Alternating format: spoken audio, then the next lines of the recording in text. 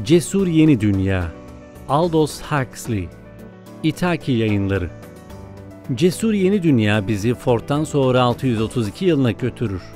Bu dünyanın cesur insanları kapısında cemaat, özdeşlik, istikrar yazan Londra Merkez Kuluçka ve Şartlandırma Merkezi'nde üretilirler. Kadınların döllenmesi yasak ve ayıp olduğu için annelik ve babalık pornografik birer kavram olarak görülür.